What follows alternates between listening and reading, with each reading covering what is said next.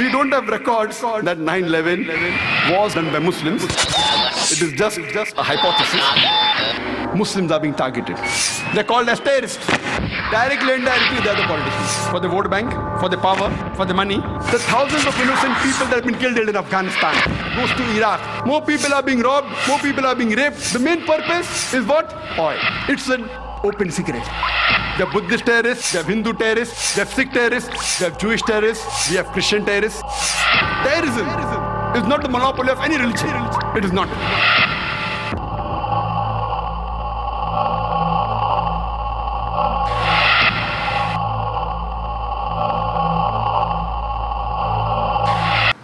अल्हम्दुलिल्लाह والصلاة والسلام على رسول الله وعلى آله وصحبه अम्माबाद अऊज़बिल्लाशैतरजीम बसमिल्ल रन रहीम हक वज़ाकिल बातिल इनबातिल का नजहूका रबली सदरी वसली अमरी वहलतमिल्लसान यफ घवकौली honourable justice Hosbet Suresh my respect elders and my dear brothers and sisters I welcome all of you with the Islamic greetings. Assalamu alaikum wa rahmatullahi wa barakatuhu. May peace, mercy, and blessings of Allah subhanahu wa ta'ala, of Almighty God, be on all of you. The topic of this evening's talk is Is terrorism a Muslim monopoly? First, let us understand what is the meaning of the word terrorism. It is very difficult to define the word terrorism. There are various different definitions and many of them contradict. The definition is intangible. It keeps on changing depending upon the geographical location and the historical fact. It is very difficult to define terrorism. But according to the Oxford Dictionary, it says that terrorism is a use of violent action to get and fulfill a political aim or to force a government to act. This word terrorism was initially first time coined in 1790s during the French Revolution. And it was in 1790s that the statesman Edmund Burke, who was a British statesman, he used this word to describe the Jacobin ruled French regime. And the years 1793 and 1794, it was called the Reign of Terror, the Years of Terror. And Maximilien Robespierre, he was heading this government, and during that time, he has killed thousands of people. He has guillotined thousands of innocent human beings. Historical records tell us that he had arrested more than 500,000 human beings out of which 40,000 he has executed. More than 200,000 were deported, and more than 200,000 they were starved and tortured to death in the prisons. So this word terrorism initially was coined to describe the people during the French Revolution. Today, we have in the international media, there is a very common statement which is repeatedly bombarded, especially in the Western media. And that statement is all Muslims are not terrorists, but all terrorists are Muslims. And this statement was even imported to India, especially after the 11th July, the serial train bomb blast that took place in Bombay, especially to Bombay. And we find that even in India, especially in Bombay, people kept on repeating the statement that all Muslims are not terrorists, but all terrorists are Muslims. Let us analyze today what do the historical records tell us and what does the data on terrorist attack that is available in world history, what do they tell us? When we look at the records in 19th century, we can hardly find any terrorist attacks have been done by Muslims. Time does not permit me to speak about the details of the attacks taking place in the 19th century. I'll just mention a couple of them. We know that in 1881, Tsar Alexander II of Russia, he was assassinated.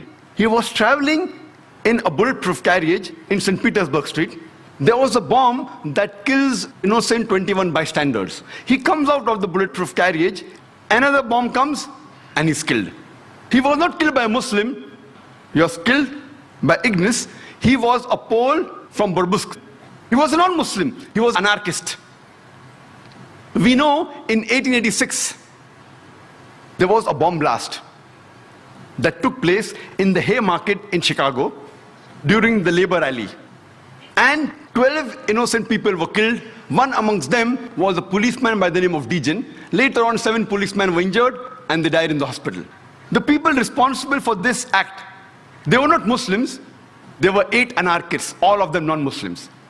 When we analyze the record of the terrorist attacks that have taken place in the 20th century, we know from the historical records that on the 6th of September 1901, the then president of USA, William McKinley, he was assassinated by an anarchist by the name of Leon. He was shot twice by Leon. He was a non-Muslim. On the 1st of October, 1910, there was a bomb blast that took place in the Los Angeles Times newspaper building, in which 21 innocent people were killed.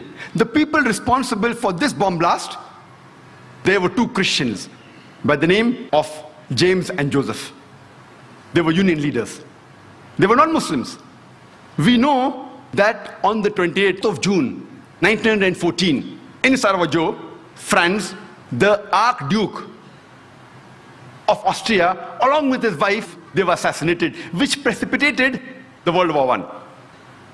The people responsible for this assassination, they were called the Young Bosnia. Most of them, they were Serbs, they were not Muslims.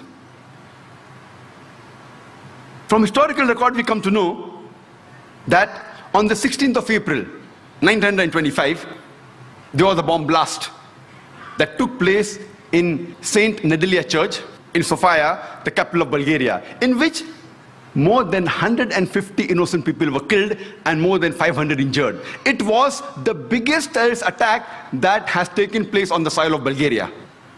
It was conducted by the Bulgarian Communist Party.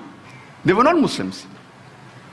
We know from historical records that on the 9th of October 1934, King Alexander I of Yugoslavia, he was assassinated by a gunman by the name of Lada Georgiev. He was a non-Muslim. The first US plane to be hijacked, it was not by a Muslim, it was by a non-Muslim by the name of Ortiz. He hijacked the US airliner to Cuba and he later on got their asylum. When we go to the records of terrorist attacks done, we come to know that in the year 1968, the ambassador to Guatemala, he was assassinated by a non-Muslim. In 1969, the ambassador to Japan, he was knifed by a Japanese, non-Muslim. The ambassador to Brazil in 1969, he was kidnapped by a non-Muslim. The famous attack, the Oklahoma bombing, which took place on 19th of April, 1995, where there was a truck loaded with a bomb which rammed into the federal building in Oklahoma, which killed 166 innocent human beings. And hundreds other were injured. Initially, it came in the press, Middle East conspiracy, for days together. Later on, they came to know it were two right-wing activists Christians by the name of Timothy and Terry who were responsible for the bombing of the federal building in Oklahoma. But when this news comes, it comes for a couple of days and then it vanishes. But before, for several days, Middle East conspiracy, Middle East conspiracy. After World War II, from 1941 to 1948, in a span of eight years, 259 terrorist attacks were conducted by Jewish terrorists by many organizations, Irgun, Stern Gang, Haganah, and we know of the famous bombing of King David Hotel, which took place on the 22nd of July 1946. They were conducted by Irgun under the leadership of Menachem Begin, in which 91 innocent people were killed, out of which 28 were British, 41 were Arabs, 17 Jews, and 5 others. The Irgun group, they dressed up as Arabs to show as though Muslims did the bombing. And the person responsible was Menachem Begin. And it was the biggest terrorist attack against the history of British Mandate, in which 91 people were killed. And at that time, Menachem Begin, he was called as terrorist number one by the British government. Later on, after a few years, he becomes the Prime Minister of Israel. And later on, after a few years, he gets the Nobel Prize for Peace. Imagine a person who has killed a person who has killed hundreds and thousands of innocent human beings becomes the prime minister of Israel and later on gets the Nobel Prize for Peace. And most of the groups that were fighting, like Stern Gang, Irgun, Haganah, all of these Jewish groups and the leaders like Yitzhak Rabin, Menachem Begin, Ariel Sharon, later on became prime ministers and high holding ranks in the state of Israel. And all of them, they were fighting for a Jewish state. If you see the world map, before 1945, Israel did not exist. Israel didn't exist. These Jewish groups, they were called as terrorists by the Britishers. They fought for a Jewish state. Later on, with power, they grabbed the land and they kicked the Palestinians out. And now these same people are calling the same Palestinians who are fighting for a more just cause, for getting the land back. And they are labeled today as terrorists by the Israelis. Imagine Hitler incinerated 6 million Jews. He kicks the Jewish community out. Why should they come to Palestine? The Palestinians, they welcome the cousins with open hands. If they should take a land, they should go back to Germany. They should go back to Europe. Imagine the Palestinian, they welcome the cousins. Imagine, suppose a visitor comes to your house. Being a stranger, you welcome him in your house. After a few days, he kicks you out of the house. And when you cry at the doorstep, I want my house back, people call you a terrorist. this is exactly what has happened today. The Palestinians, they are called as terrorists. For what? They only want their land back. And so-called people, most of these powerful first world countries, they are agreeing with this unjust cause. We know that in Germany, from historical records, from 1968 to 1992, the Baader-Meinhof gang, they killed several innocent human beings. In Italy, we come to know from records about the Red Brigades, which has killed several innocent human beings. They were also responsible for kidnapping the Prime Minister of Italy, Aldo Moro. And after 55 days, they killed him. Further, when we come, a similar gang, a similar terrorist outfit, we know, was also in Japan. The Japanese Red Army. They was Buddhist cult. Aum Shinrikyo, the Buddhist cult. And they tried to kill thousands of people in the Tokyo subway by the nerve gas. But unfortunately, they weren't very successful. They were only able to kill 12 people, but more than 5,700 innocent human beings, they were injured and wounded because of this nerve gas. They were Buddhists. In UK, for about 100 years, the IRA, Irish Republican Army, they are conducting attacks against UK. They are Catholics, but they are never called as Catholic terrorists, they are called as IRA. And we know they have conducted several terrorist attacks. Only 1972, three bomb blasts were done. In the first one, seven people were killed. In the second one, 11 were killed. And third one, nine were killed. In 1974, they did two bomb blasts. In the Guildford pub, they killed five innocent people and injured 44 people. In the Birmingham pub, 21 innocent people were killed by the bomb blast and 182 were injured. Time doesn't permit me to speak about all the activities they did. I'm just mentioning a few, just at random. In 1996, they did a bomb blast in London where two people were killed and more than 100 were injured. Further, in 1996, a bomb blast was done in the shopping area of Manchester where 206 people were injured. In 1998, Banbridge bomb blast, where 500 pounds of bomb was loaded in a car, in which 35 innocent people were injured. In the same year, we know from records about the Omagh bomb blast, where a 500 pound of bomb was put in a car and 29 innocent people were killed and 330 were injured. All these records are from non-Muslim sources. They have not been written by Muslims. All from non-Muslim sources, from Amnesty report, from BBC. If you go on the internet, you can cross-check. But many a time when the number is big, there may be a difference. Like today, we know how many people killed, 296, one report says 294, one says 293, so I played safe and say more than 290. The report, if it's a large number, may differ by few here and there. If it's a small number, it's precise. All these by non-Muslim sources. In 2001, the BBC was born by IRA. But these people, they are not called as Catholic terrorists. Today, the UK government is more afraid of Muslim terrorists. I don't know from the records of the UK government how many confirmed Muslim terrorists have done bomb blast in UK. Even the London bombing of 7th July, there's no confirmed report. They are suspected to be Muslims. It's not confirmed. In which more than 50 people were killed. One report says 52, one report says 56. Therefore, I said more than 50 people were killed. Even if we agree for sake of argument that they were Muslims who did the 7th July bomb blast in the year 2005, yet they come nowhere close to IRA. IRA puts these bomb blasts to shame. They have killed hundreds and thousands of people. Yet today, the UK government is more afraid. IRA is doing since more than 100 years. But because of the advice of George Bush, Tony Blair is more afraid of the Muslim terrorists rather than the problem which is there for more than 100 years. We know from historical records that in Spain and France, the terrorist organization is ETA. They have conducted 36 attacks. And in Africa, there are so many organizations, the list is exhaustive.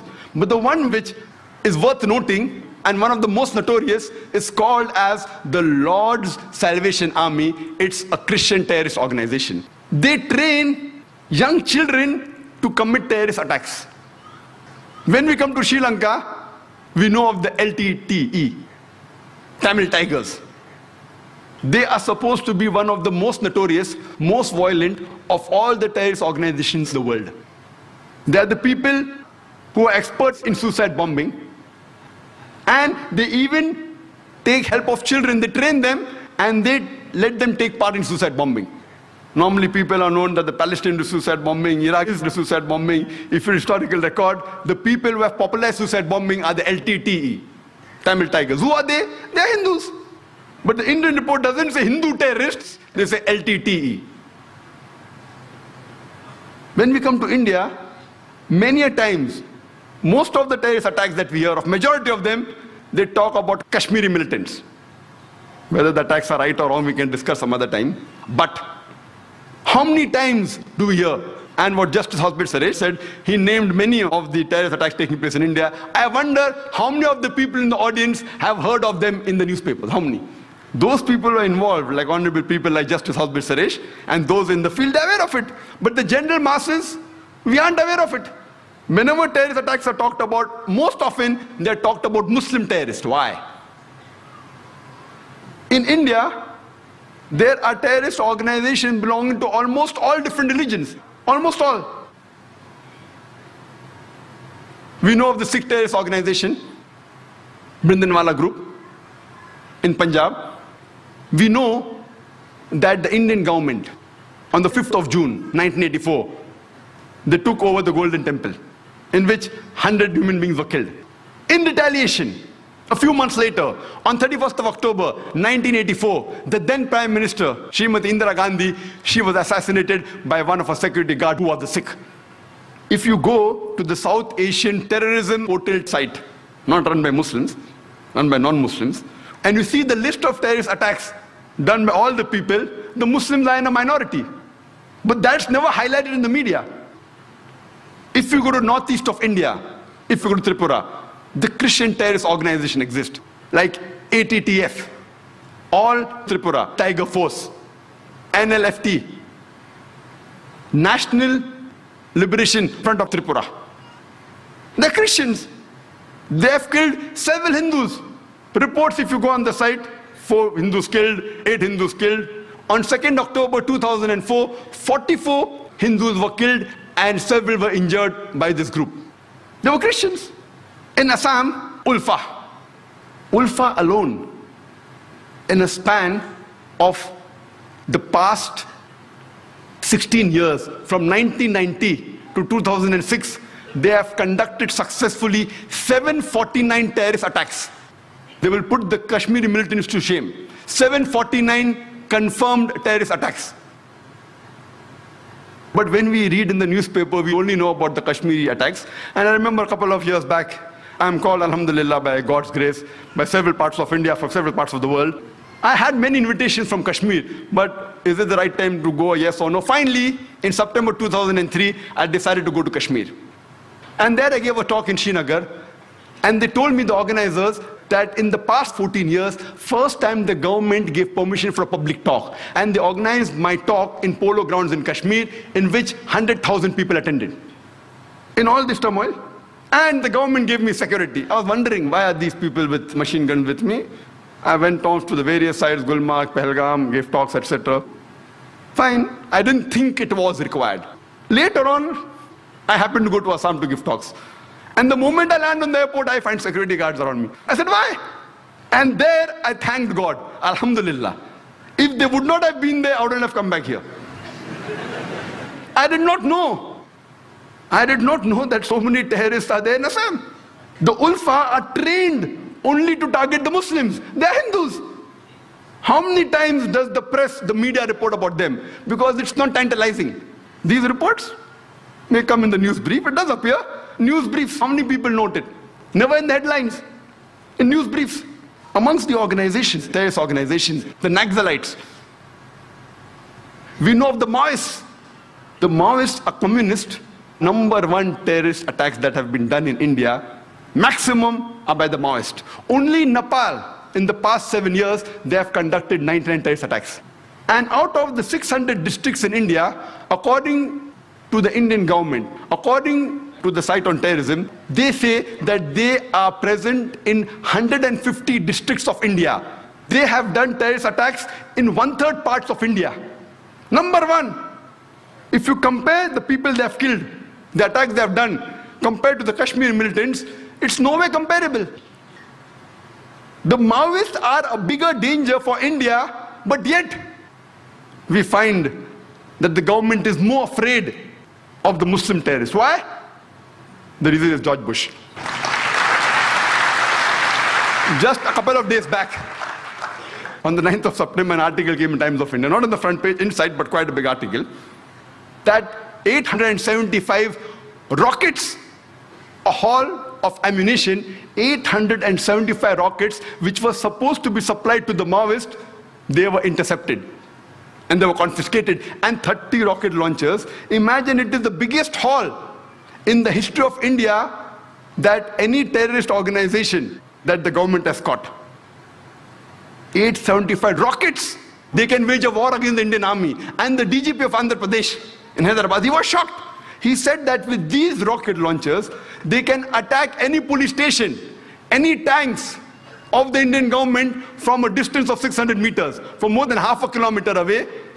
They can attack the Indian tanks, the Indian police station, and you can't do anything. Rocket launchers. Yet we see people are more afraid of people who have a beard, people are wearing a cap, people have trousers above the ankle. Are they more dangerous than the rocket launchers? Why?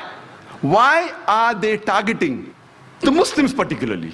It's a question, it is a ploy of the Western media, the media controlled by the politicians. And when we analyze, we can surely say without any doubt that terrorism is not a Muslim monopoly. Not only is it not a Muslim monopoly, it is not even a speciality of the Muslims. It is not even encouraged in Islam. It is prohibited in Islam.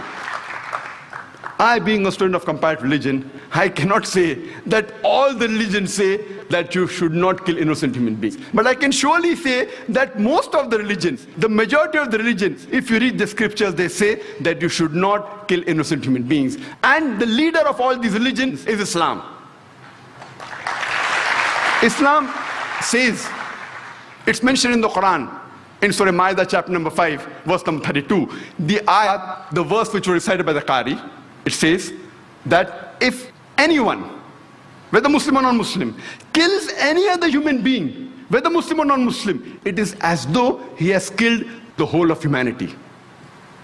I know of many religious scriptures which say that you should not kill innocent human beings. But Quran does not only say that, it says that if anyone kills any other human being, unless it be for murder or for creating corruption or for spreading mischief in the land, it is as though he has killed the whole of humanity. Quran goes a step further and says that if you kill any innocent human being, it is as though you have killed the whole of humanity. I don't know of any religious scripture which says that if you kill any innocent human being, it is as though you have killed the whole of humanity. And further, Quran goes on to say that if you save any single life, any single human being, it is as though you have saved the whole of humankind.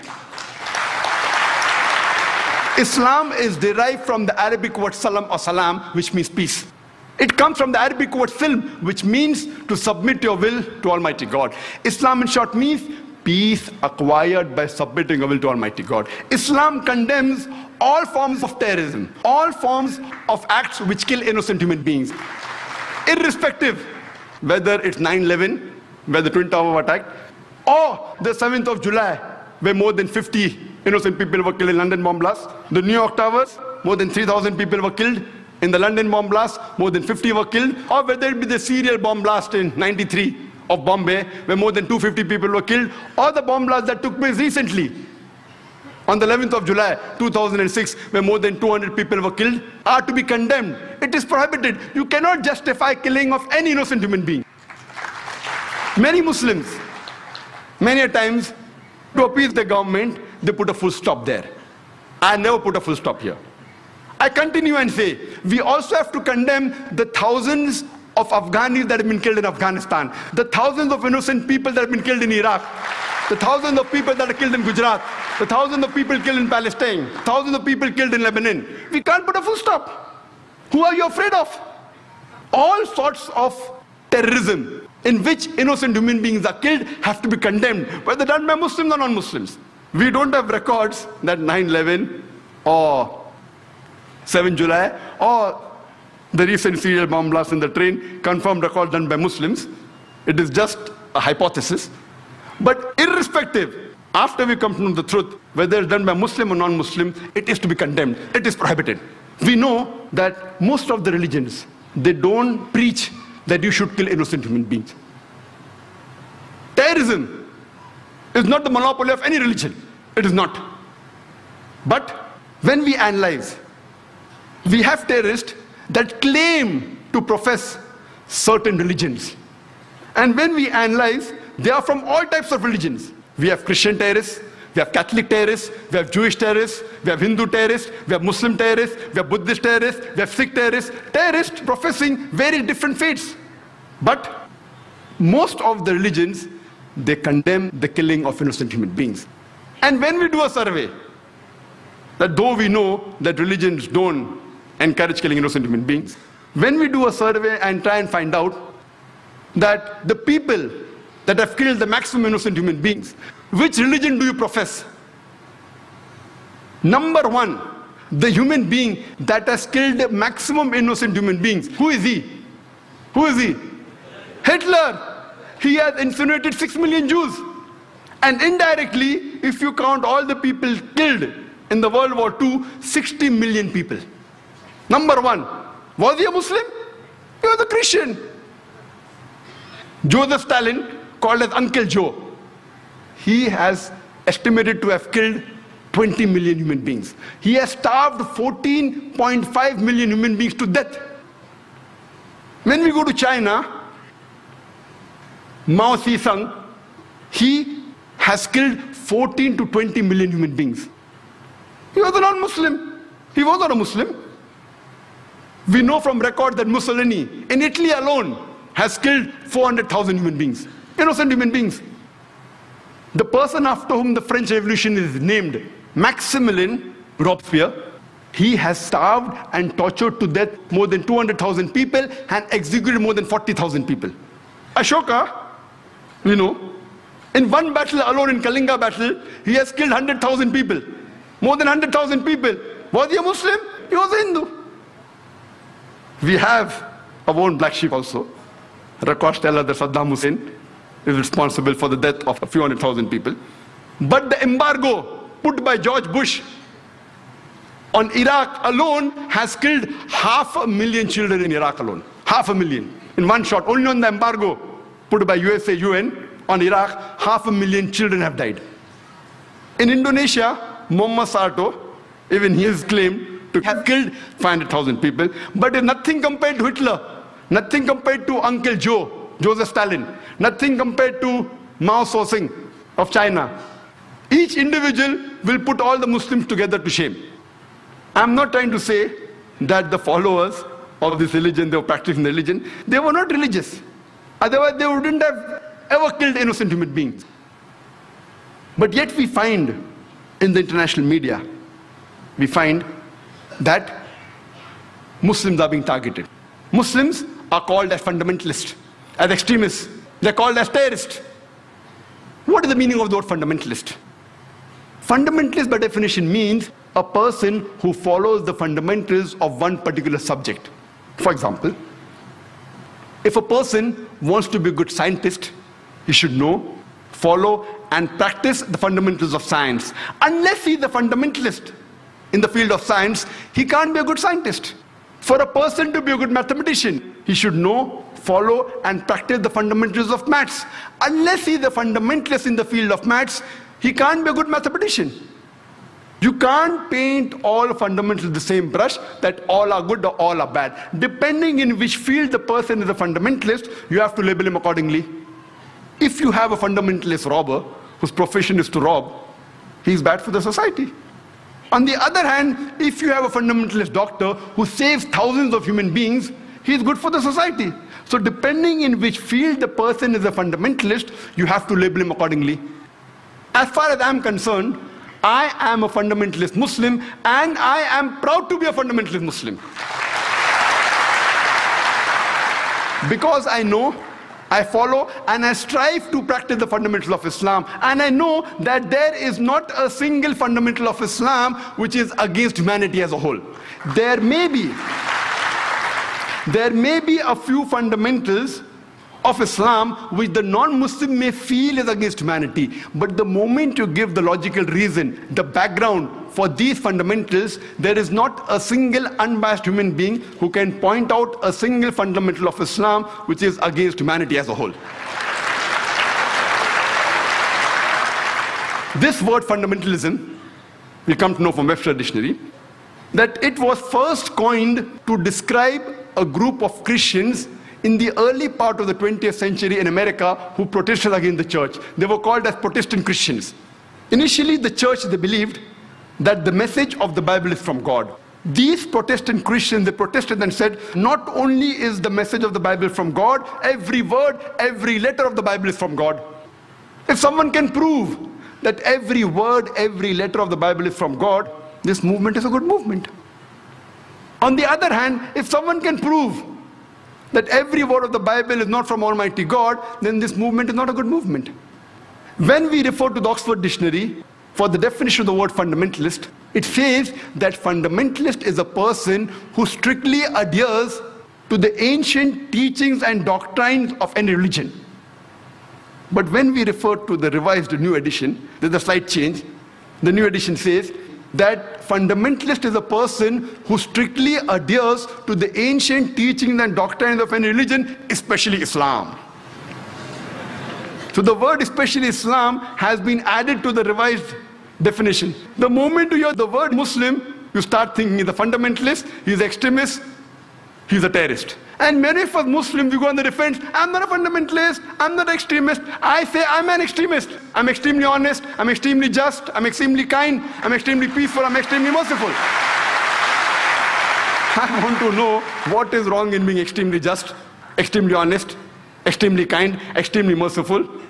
You can't be partly just when it benefits you and if you're just. When it doesn't benefit you not, you have to be extremely just. That's what the Quran says. Our religious scripture, the word of Almighty God, says you have to be fully just. We can't expect a judge to be partly just. When he wants, he does justice. Otherwise, no. So what's wrong? And I want to ask any human being, can he tell me that being extremely honest is wrong? Extremely just is wrong? Extremely peaceful is wrong?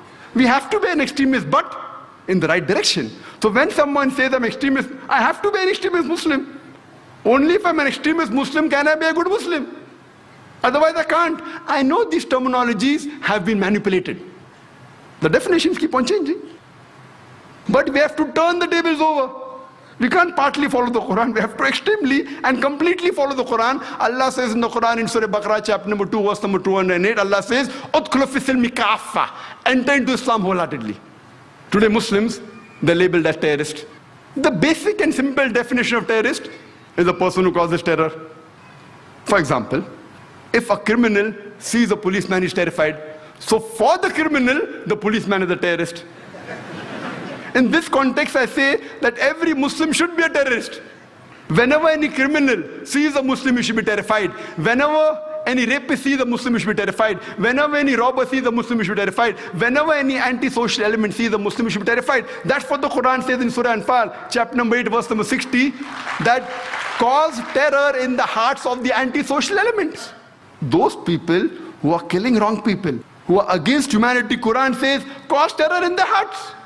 I know that commonly the word terrorist means terrorizing innocent human beings. In this context, no Muslim should ever terrorize any innocent human being. It is prohibited in Islam. We know that many times two different labels are given for the same person, for the same individual, for the same activity, more than 60 years back. When India was being ruled by the British government, there were many Indians who were fighting for the freedom of the country. These Indians who were fighting for the freedom of the country by the British government, they were called as terrorists. But we common Indians, we call them as freedom fighters, as patriots. Same people, same activity, two different labels.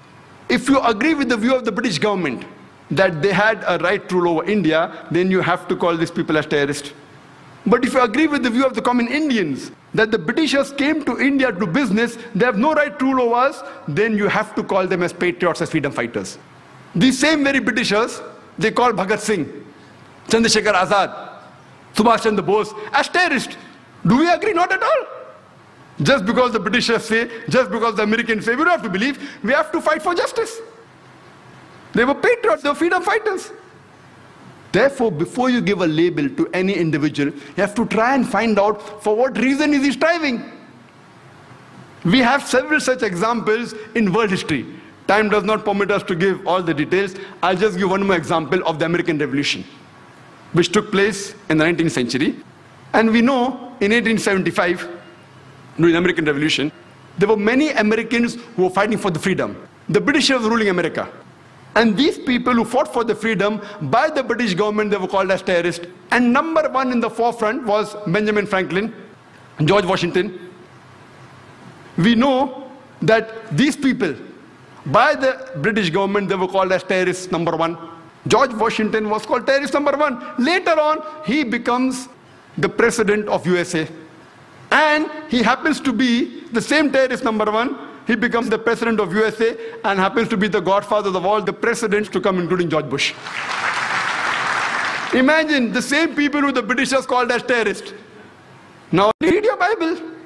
If you read the Bible, the Bible speaks about fighting. If you read the book of Numbers, chapter number 31, verse number 1 to 19, the book of Exodus, chapter number 22, verse number 18 to 20, the book of Exodus, chapter number 32, verse number 27 to 28, and Jesus Christ, peace be upon him, himself said, in the Gospel of Luke, chapter number 22, verse number 36, that take the sword and go and fight. So immediately, most of the custom officers, eight or ten, gathered together and they started asking, Sir, can we ask you one more question? so I just told my host on the mobile that please don't worry, I'm stuck up here, I'm just doing dawa. I keep on traveling, mashallah. I've been to Australia, to UK several times. By God's grace, time I did spend not more than a couple of hours. I know many of my colleagues were detained. Many of my colleagues mean my speakers. I'm not talking about my Bombay speakers. I'm talking about the international speakers who keep on traveling. They have been detained, they have been deported. Allah's grace that so far I have not been detained. I have been deported. Maximum half an hour, one dawa. And I see to it that whenever I get opportunity, I grab it. But I see to it that I quote the scriptures. I follow the guidance of the Quran in Surah Al-Imran, chapter number 3, verse number 64, which says, Ta'ala wila kalmitin sawa'im bayna baynakum. Come to common terms as between us and you. So when we come to common terms, most of the problems are solved. This talk what we're having today, was supposed to be held more than a month back. I was supposed to be in London. That's why this talk is delayed. And when I landed on the 10th of August on Heathrow Airport, and I received a call from my wife. Zakir, where are you? I said, why?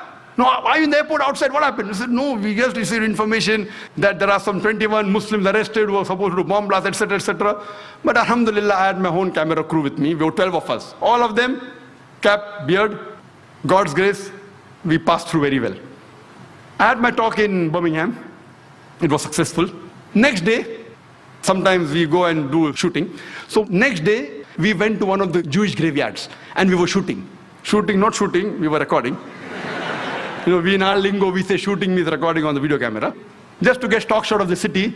And we spent a couple of hours in the Jewish graveyard. Later on, we went to one of the church, did the recording shooting, then we went for breakfast, and we came back to the hotel in the afternoon. Then we get information. The police of Birmingham, they're trying to track us down. Maybe some passerby went and complained. They were looking for seven or eight terrorists with cap and beard. Who are these people? They had the number plate and they knew it was a green car. So what they did, they phoned the insurance company and they tried to find out where we were and finally they located us in the hotel. But luckily, while doing inquiry, they even happened to speak with the person who had breakfast with and he happened to be a very famous politician, Muslim politician. So when the chief of that area, of that police station, spoke to him, that you were looking for these terrorists, he said, what nonsense they're talking? Do you know, two months back, I had given a DVD of a person by the name of Dr. Zakir Naik. He said, yes, he's the same person. Oh, same person. Problem solved. The passerbys who had reported, you know, beard is dangerous.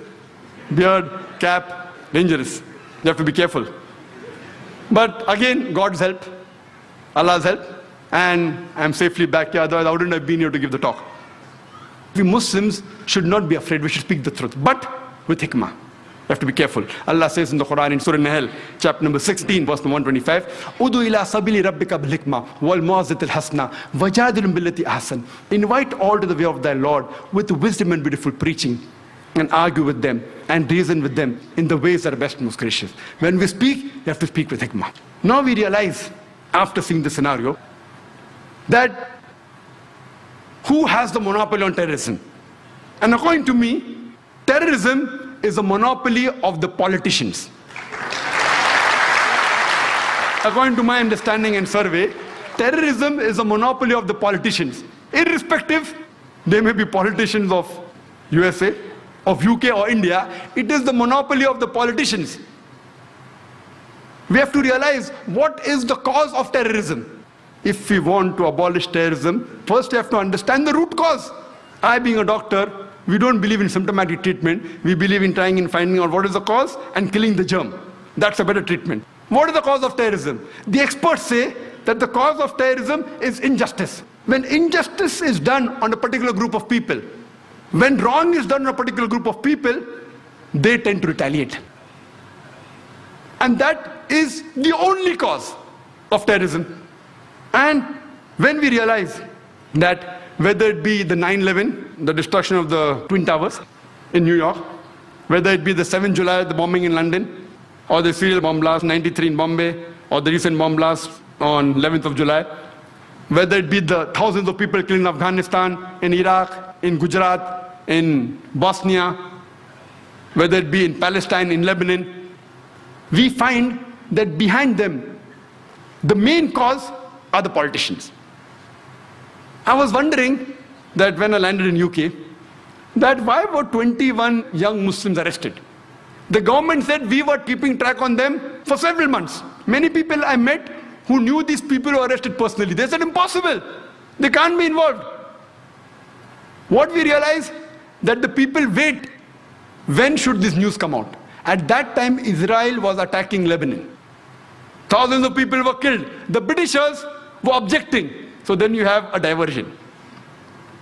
21 Muslims supposed to bomb the airline arrested. It's a bigger news, so people forget about thousands of innocent people being killed in Lebanon.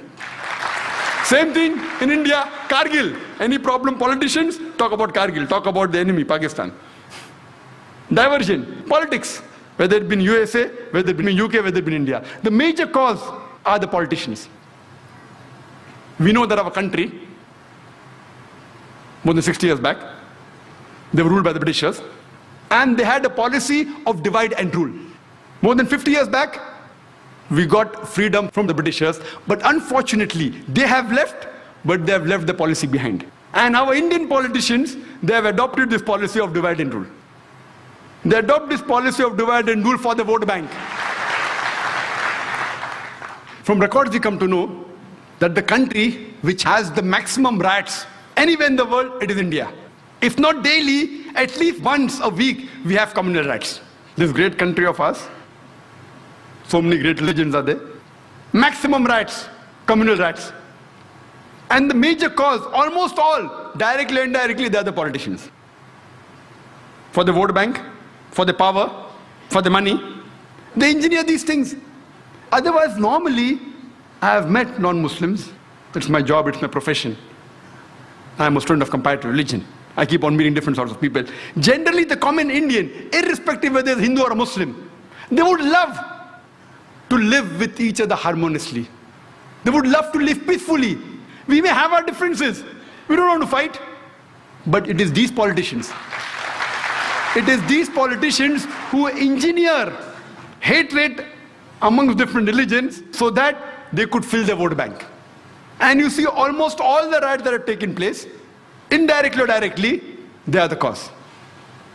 We know that few years back, there was a political gimmick. The Babri Masjid and Ram Janmabhoomi issue. You know Babri Masjid, Ram Janmabhoomi issue in Ayodhya? I would like to know how many of us Muslims and Hindus knew about Babri Masjid and Ram Janmabhoomi before the politicians made it a gimmick. How many of us knew? I had never heard of this, Babri Masjid. And when I asked the common Hindu, he had never heard of this. Only after the politicians made it a political gimmick, people knew about it. And we know on the 6th of December 1992. They wanted to have a big procession, a gathering at this site. The Supreme Court had explicitly said that no gathering anywhere close to the disputed site. A group of politicians, they make it a political gimmick of Ram Janmabhoomi issue and the Babri Masjid issue. They want to gather on 6th of December. The ruling politicians know very well that they have the Supreme Court backing they could have easily stopped the gathering, easily. But then they think, if I stop, I may lose vote. So they let the gathering take place. The gathering takes place, and then they say, spontaneously, the thousands of cars were gathered there. Spontaneously, the Babri Masjid was destroyed, spontaneously. You know, there was live recording on the various satellite channels. We know that with trishuls and lathis, how can you get down a structure? Is it possible? No. They had planted explosives. With this pre-planned act, that planted explosives, anyone can see. You don't have to be a specialist of military. You can see it with your eyes. That explosive was planted, and that's how the structure came down. Can the structure come down with lathis and trishuls? Maybe George Bush saw this 6 December 1992. That's how he had conducted the inside job of 11 September. Time does not permit me to speak about the inside job. That requires a lecture by itself. Inside job of 11 September. Many Americans have spoken about that. Maybe he saw it and he got the idea that let's conduct in New York also. Later on, what happens? This emerges into riots. Throughout the country, there were riots. It is the largest riot after partition in the whole country where tens of thousands of innocent human beings were killed, mainly Muslims. Who's to blame? The innocent Indians. They are instigated by the politicians. Fight, kill the opposite religion people. Instigated, innocent people, they get instigated and they do the act. We know that even in Bombay, one of the cities that was maximum affected was Bombay. Even during partition, the riots that took place in Bombay was the worst in the history of Bombay. Even during partition, so many people were not killed as during the December 92 and January 93 riots. The police, if they wanted, they could have easily prevented the riot, very easy. With the backing of the reserve police, with the backing of the military, easily they could have done it. But they did not do it. Most of them were silent spectators. Some were good, they tried, but they were in a minority. Majority were silent spectators, some were party to it. I'm aware that even the police is controlled by the politicians. So the police wants to do something, the politicians come in between. So the blame goes back to the politicians. Later on, the government appoints a single judge commission to appease the minority. And they appointed Justice Sri Krishna. It was famously called as the Sri Krishna Commission. And we know that Justice Sri Krishna, he was and is a devout and a practicing Hindu. But at the same time, he's an upright and honest judge, just like how we have Justice Suresh here. An honest and an upright judge. The verdict he gave, it did not go down the throat of the government. It takes a few years. And he had analyzed the full cases of the riots. He spoke with the politicians, with the police. Individually, he visited 26 police stations, analyzed the records, spoke with the police officer, junior and senior, spoke with the victims, spoke with the media, and after a great deal of research, he presented, we have this damning verdict of Sri Krishna Commission. He even gave suggestions how can we prevent these riots. But, you know, it takes time. By the time this happened, the government says bygones are bygones. Because they know if they implement the report, they are afraid that they will lose the vote bank. At that time, to appease the minority, they appointed the commission. How many commissions? I don't know. How many, I don't know how many commissions have been implemented. I think Justice Suresh can tell. How many commissions that they appoint have really been implemented in India? How many? So here we know it is a delaying tactics. The innocent Indians, especially the Muslim victims, we have faith in the judiciary system of India.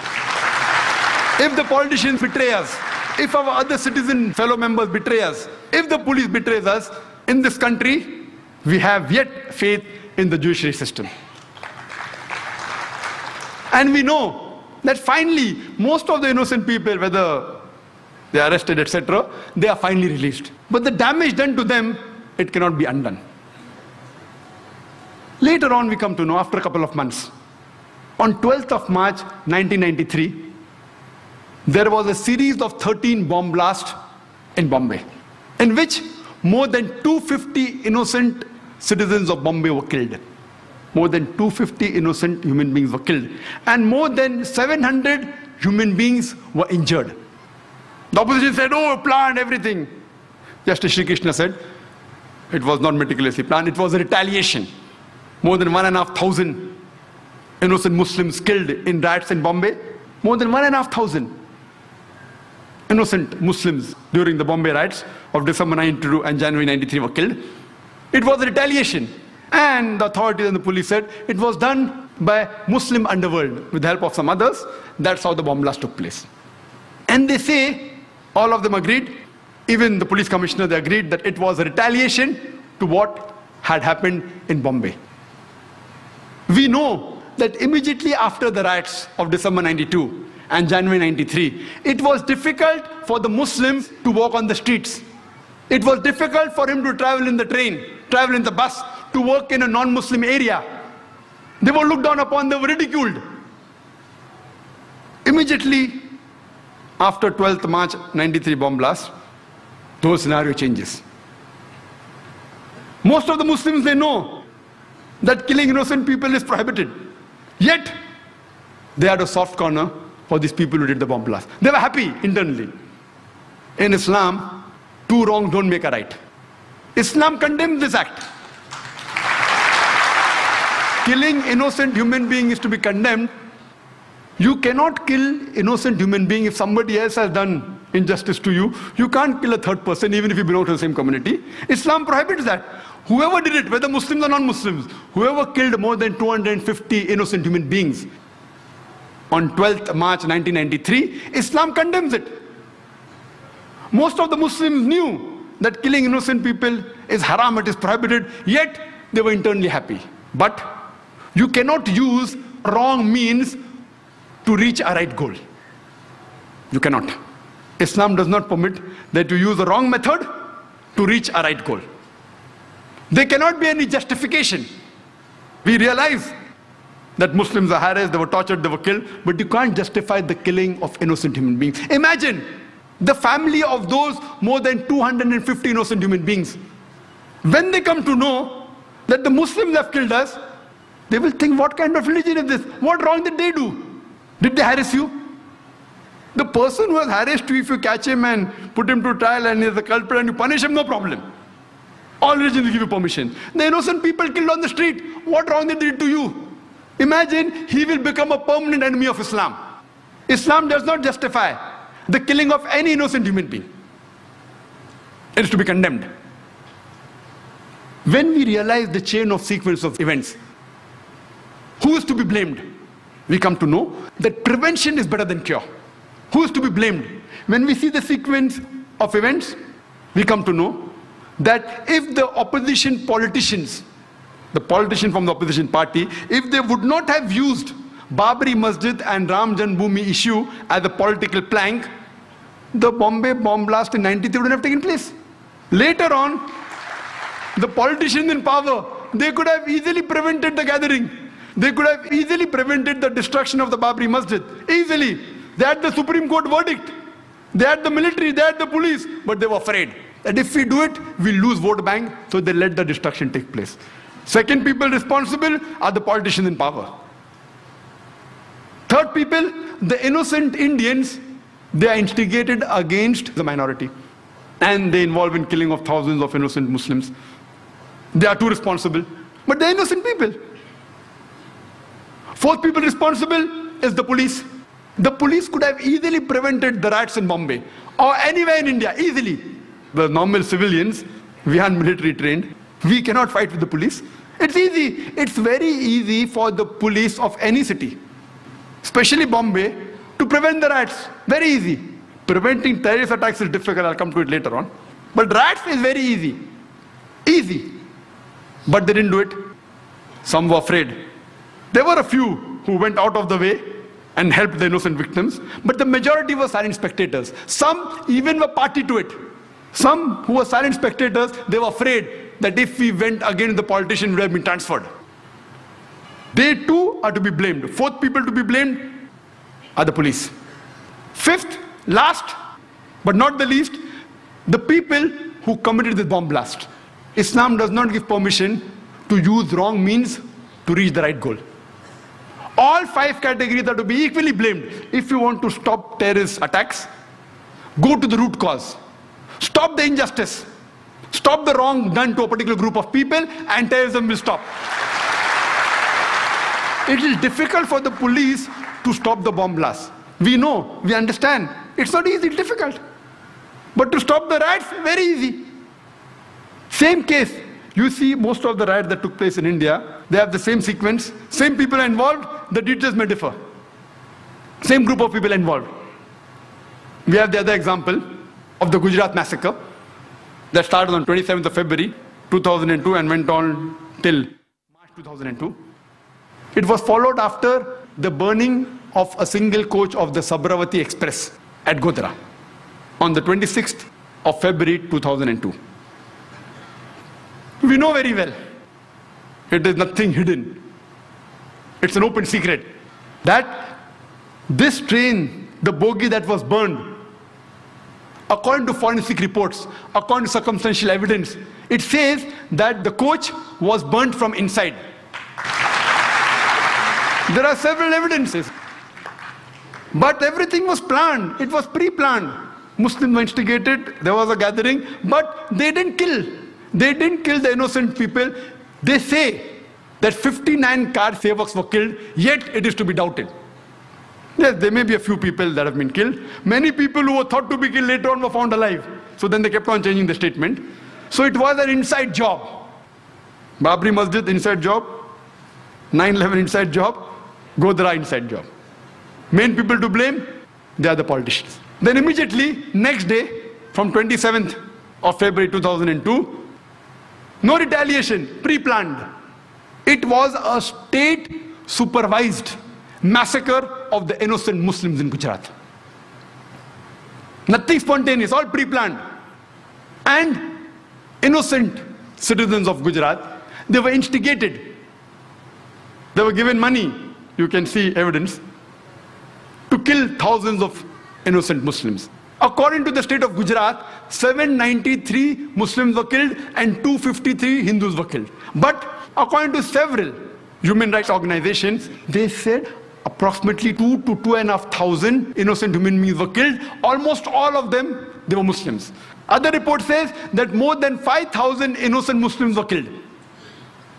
There were thousands of Muslim women who were raped. There were tens of thousands of Muslims who were asked to leave the house. The houses were looted, they were burnt. There were tens and thousands of Muslims whose places of business, they were burnt. They were completely destroyed. The people killed in Gujarat massacre is far more the number than the 9-11. The loss of the people of Gujarat, if you add it, it is much more than the loss that took place on 9-11. Yet, according to George Bush, the people who did Gujarat massacre, they aren't terrorists. Only if you harm the Americans, then there's a problem. We know that there are tons of evidence, tons of evidence in form of literature, newspaper, booklets, you have the Communalism Combat, you have videotapes, VCDs, DVDs, actual recordings of the culprits, the people responsible, yet no action taken. Even the judiciary system, I'm sorry to say, in Gujarat failed. I think they were pressurized by the politicians. So much so that the Supreme Court of India had to pass a remark against the High Court of Gujarat that they were biased and the trials weren't correct. I feel it was mainly the politicians. The Supreme Court of India, they passed a judgment against the High Court of Gujarat that what verdict they gave was wrong. And I feel maybe it was the politicians whom have used the power. And imagine what we find after a couple of months. We have the Akshardham temple massacre. Two people were caught. They were killed. They are said to be Muslims. And the authority said that these people killed so many people in the temple in revenge, in retaliation. And they said that all this was nothing but retaliation. Islam does not justify that. They may have a logic. These people who did the attack, or the people who retaliated in other ways, they have a logic. They say that thousands of our family members were killed in front of eyes. Our mothers, our sisters have been raped in front of us. We have been looted. We know the person responsible is our neighbor, the person down the street. We meet him regularly. But when we see him, it reminds us of the torture. When they go to the law, the law does not support. So they take the law in the hand. I am not justifying this act. Islam doesn't permit you. They take the law in the hand and they kill other innocent human beings. Islam does not justify that. They have a justification. They say, our mothers have been raped. We know the culprit. They're in front of us. No one is taking action. So they take the law in the hand. If you really find the culprit and book him, and if he's caught, if you can do that, and punish him, Islam justifies. You can't kill any other innocent human being. Islam does not justify that. You cannot use a wrong mean to come at the right goal. However much you may have sympathy for them, but the point to be noted Islamically, it is wrong. It's not justified. Killing innocent human being. Imagine the hundreds of innocent human beings killed by these people retaliation. They in turn become enemies of Islam. What wrong have they done? It is the same thing. The earlier people killed innocent Muslims. No, you kill innocent Hindus. It's not justified in Islam. If you can catch the culprit, book him, punish him, fine. But not an innocent human being. Later on, on the 11th of July, we have, in this year 2006, we have a series of bomb blasts in the train. Seven bomb blasts in the span of 11 minutes. In which more than 200 innocent human beings were killed. More than 800 were injured. The police and the authorities, they say, this too was in retaliation to the thousands of Muslims killed in Gujarat. The authorities say It is the hand of the LET, Lashkar-e-Toiba. If we look at the sequence of events, could this have been prevented? Easily. Who's responsible? Number one, those politicians who had planned the burning of the coach in the Sabarmati Express at Godhra. They are responsible. Number two, the people at the center, at the center government. They could have stopped it, but they belong to the same party, they didn't do anything. Number three, the innocent citizens of Gujarat. They were instigated against the Muslims. And they fell in the trap. They too are responsible. Number four, the police of Gujarat could have easily prevented, they didn't do it. They are responsible. And we know from records that most of the places, it was done under the supervision of the police. If you see the commission report. They too are responsible. Number five, the judiciary system of Gujarat. They didn't take action. Number six, the people who retaliated in the wrong way. The people who did the bomb blast, Islam does not justify that. They too are equally responsible. All six categories of people are responsible. But if we can prevent the first category, the first few categories, surely you will not have these terrorist attacks.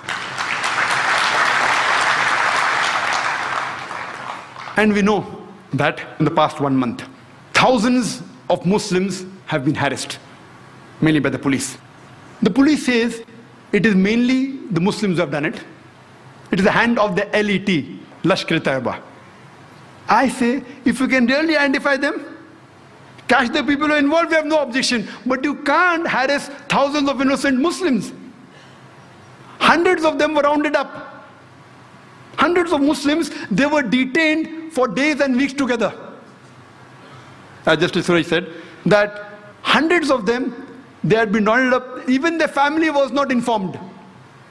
Imagine. And the thousands of innocent family members, they too have been harassed. We know about 22 to 25 so far have been officially arrested. All of them, 100%. None of them, not a single arrested case is directly linked with the train bomb blast of Bombay. All of them indirectly related to some other event. If you really catch the culprit, if you have proof, you have no objection. But at random picking up the Muslims, what signals are you sending? We know that about more than 300 innocent people were rounded up in Malvani. More than 300. For what? For interrogation.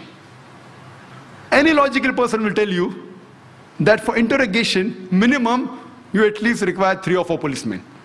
If you want to do a proper interrogation, one policeman to threaten, one to have a soft approach, one to note down, maybe one to observe. At least three, if not four, minimum three, for a proper interrogation. It takes minimum one or two hours. People, experts say four, five hours. I say minimum at least one or two hours. How many interrogation can you do? What is the manpower of the Malvani police station? What is the manpower? How many can they do in a day? 10, 20, 30, 40? How many? How many? What is the manpower? What is the force? Maximum 100 if you let it go. They round up more than 300 people, keep them waiting for the full day, then they take the telephone number and address and leave them. What signals are you sending? It is my request that the police should take the Muslims in confidence. Recently, after the bomb blast, there was a program organized by the non-Muslim. How we have Muslims have here on terrorism. Similar, there was a program organized by the non-Muslims on similar topic. Topic was different, but the issue was the same. By the non-Muslims. And the organizers had invited two ex-senior police officials from Bombay. Ex. One of them comes and blames the madrasa of Pakistan, the reason for terrorist attacks here. Second one comes and blames the madrasas of India. In the speech, you tell them that they should have computers, English, no problem, I'm with you. But to say that the Indian madrasas are directly or indirectly, even remotely associated with any form of terrorism in India is nothing but a blatant lie. Unfortunately for that police officer, there was one of the senior advocates in the audience. After the talk, he went and told him that, can you even give me a single white paper single proof that any madrasa in India has been proven to be associated with any terrorist act? He said, I don't know. Imagine what statement is the senior police officer giving to non-Muslims. What message are you sending? Hindus, in turn, will be against the madrasas. So making such irresponsible statements by senior police officers, say I'm being careful, I'm not naming, why? Because I'm a responsible citizen. What signals are you sending? I don't know of any madrasa in India. See, they are the center of learning. Fine, we may disagree. We may want English there, we may want modernization. I speak with the people of madrasa. I may have differences, have more education. Fine, have English, have computers. We agree. But to say that they're involved in terrorist activities, indirectly or directly, even remotely, is nothing but a blatant lie. So what is happening? What message are you giving? We know that hundreds of innocent Muslims are detained. Many were arrested. The police goes and does a search in the house. Then they find some books on jihad. Proof. Proof that involved in terrorist attacks. The Bombay media reported that these same books are being sold in the bookstores of Mohammad Road for several years. If that was the case, why weren't these bookstores closed down? Same books. Jihad. I would like to tell that do you know the Quran too speaks about jihad. And almost all, every Muslim house has the Quran. Do you mean to say that you're going to arrest all the Muslims of Bombay? What signals are you sending? I, being a student of comparative religion, I would like to say that if you read the Mahabharata, there are more verses of killing in Mahabharata than the Quran. If you have a competition, Mahabharata has more verses of killing people than compared to the Quran. Bhagavad Gita is nothing but a guidance given by Sri Krishna to Arjun. Arjun says, how can I fight against my own cousins? If you read Bhagavad Gita, chapter number 1, verse number 43, 44, 45, 46, he puts his arms on the battlefield and says, I would prefer dying unarmed rather than fight my cousins. Immediately. Bhagavad Gita, chapter number 2, verse number 2. Shri Krishna, he says, Arjun, how could you be an impotent? And he continues, time doesn't permit me, you can see my videotape. It says that it is a duty of the Kshatriya to fight. When we see in context, I, being a student of comparative religion, I agree with all the verses of fighting in Bhagavad Gita and Mahabharata because I know the context. It's a fight between justice and injustice.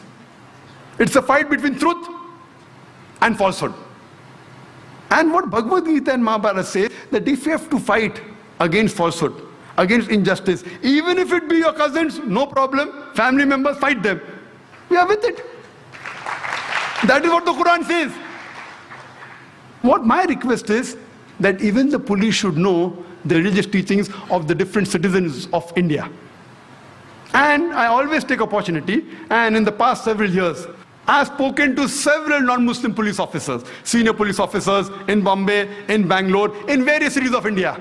I was even called a couple of years back to the National Police Academy in Hyderabad, where I addressed more than 100 IPS officers, high-ranking commissioners of police, DIG, IG, DG, the Director General of the National Academy was there. And when I spoke, they were shocked. Most of the information I gave, they were shocked. You should know what is the teaching of different religions. Imagine if I pick up these verses of the Mahabharata and Bhagavad Gita and quote out of context, surely we can get rights here. We have to understand different religions. And by God's grace, Alhamdulillah, I have spoken to police and military internationally. In UK, in USA, in Bahrain, in Saudi Arabia, in UAE. Alhamdulillah. And I love interacting, especially with the non-Muslim police. Giving them the right picture of Islam. Unfortunately, they get the information of Islam from the international media. I'll come to the media in the ending. So what we should say that we should have understanding. I've been told by several advocates, and as Justice Suresh also said, that hundreds of Muslims were picked up. They were detained. Some of them mentally tortured, some of them physically tortured. The advocates told me that the clients, as Justice Suresh said, that they were tortured. Some of them were even made to sign on papers they didn't agree, even on blank papers. If you know who the culprits are, select a few, catch them if proven. If they have done it, they should be punished. We aren't against it. But to catch thousands of innocent Muslims, what signals are you sending? Imagine to catch 10 terrorists, you interrogate and harass a thousand innocent Muslims, irrespective whether you catch those 10 terrorists or not, surely you are making 100 new terrorists.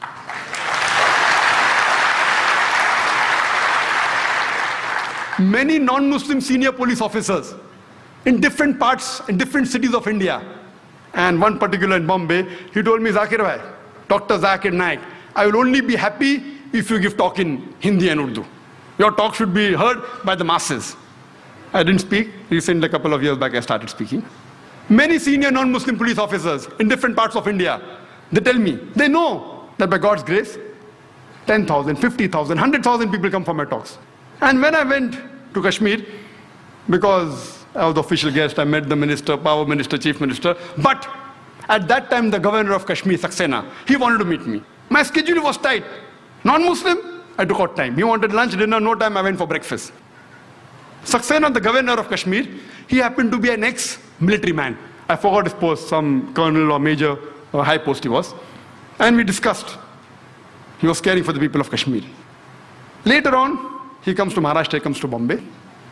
He wants to meet me. He calls me to the Raj Bhavan, the governor's house. I go and meet there.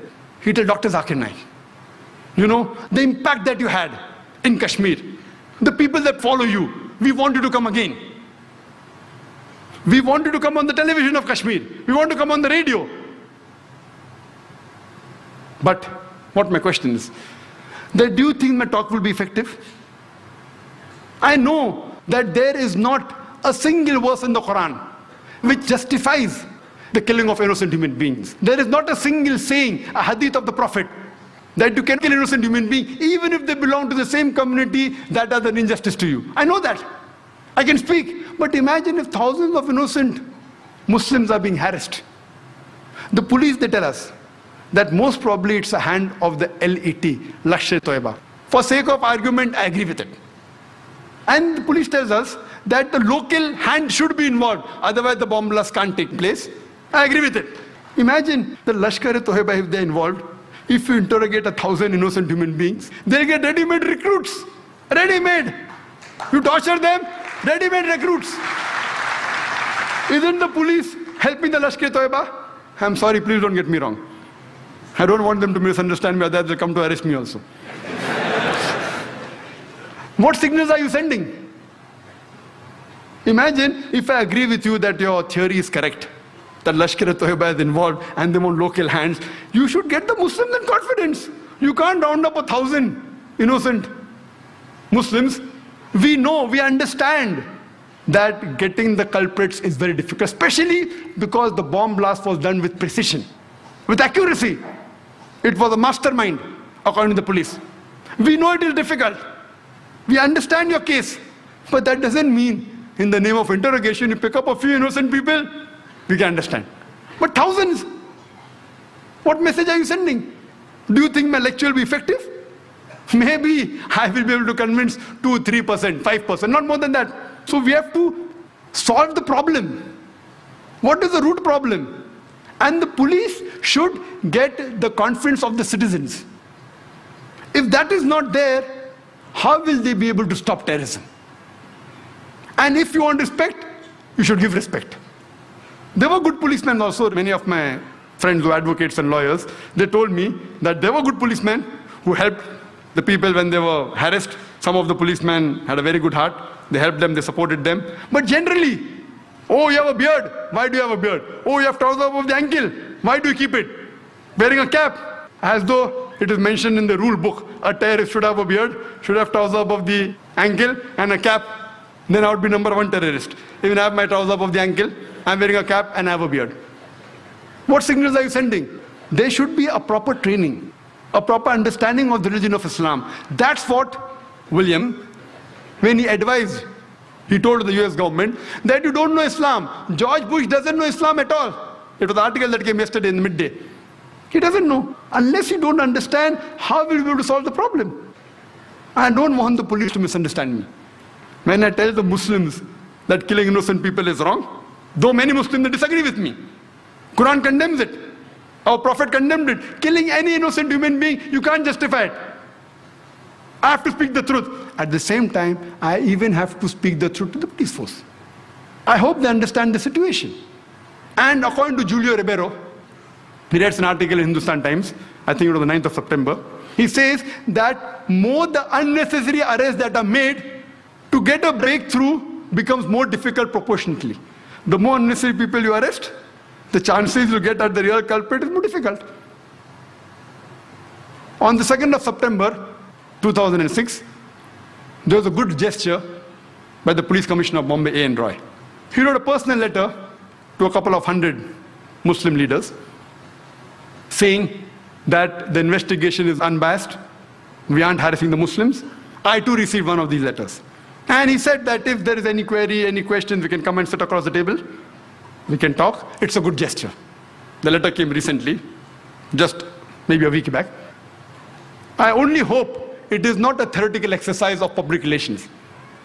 If it's practically implemented, that innocent Muslims should not be harassed.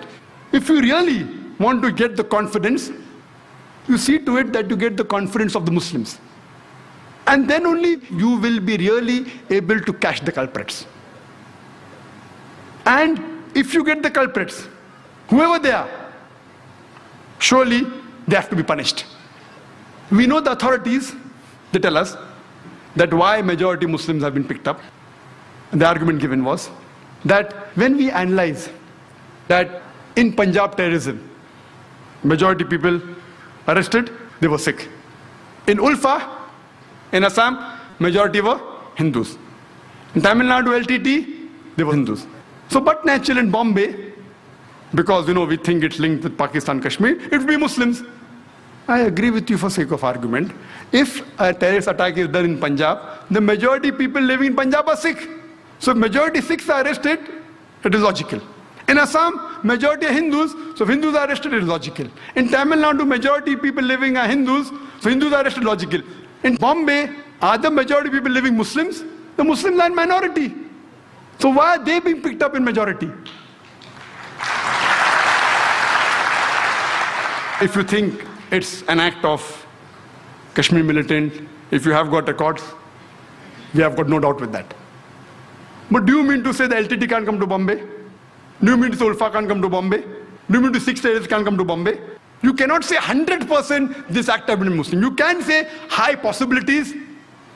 And if you show proof, we are with you. What we are trying to tell you that identify the people who are responsible, catch them and punish them. But not thousands of people, innocent Muslims being rounded up. We know there are several records. Just a couple of months back, according to the ATS of Maharashtra, 16 members were arrested from a hardcore Hindu organization. They were involved in three bomb blasts in mosques. Mahmudi Mosque in Parbhani, one of the mosques in Jalna, one in Pune, three. And recently on 6th of April, in one place, by mistake, a bomb detonates by mistake. While they were making a bomb, it exploded. It killed four people and 11 were injured. When inquiries were made, many people belonged to the same hardcore Hindu organization. And they found there that the plan was that to attack the mosque in the guise of Sikh. You know, this took place in Nanded. Sikh, why? Because there was a rift going on between the Muslims and Sikh. A Sikh girl married a Muslim boy, so there was tension, so they wanted to take advantage. So they wanted to do an act in the guise of Sikh. There are cases we know that Hindus have attacked wearing caps and beards. So you can't say 100% Muslims are involved. Maybe high possibilities, I'm not saying no. Recently, a few days back, on Friday, 8th of September, four bomb blasts took place in Malegaon. One outside one of the mosques, one outside a graveyard, in which 35 innocent Muslims were killed and more than 100 innocent Muslims were injured. Again, prime suspect, LET. Can be, but not prime. Imagine, it is a game plan. It's a no name game. If you go to America, it's Al Qaeda. Here it is LET. According to an article that came in the DNA on the 6th of September, a person by the name of Joseph, he writes that the foreign experts they tell that if you involve yourself too much in the blame game, you lose focus and the main culprits are never caught. You do a proper investigation. If really they're caught, they have to be punished. irrespective whether the terrorists are Muslims or non-Muslims, whether they belong to Kashmir, whether to Pakistan, whether Ulfa, whether LTT, if they are proved to be involved in that, they should be punished. I am not here to support any terrorist act, not at all. But if you want to get to the bottom of it, you should know that this should be done meticulously. We should take the citizens in confidence. One of the other cause is the media. Mainly that media which is controlled by the politicians. We have to be careful of this. And this media, they can convert black to white, day to night, hero into a villain, villain into hero. And we see that very often. If you see my tapes, I've given very such examples. But in India, it's fortunate that the more popular media is not controlled by the politicians. And we find that this media really gave the true picture, whether it be the Gujarat riots, the Bombay riots in 93, or even today, the innocent Muslims are being harassed.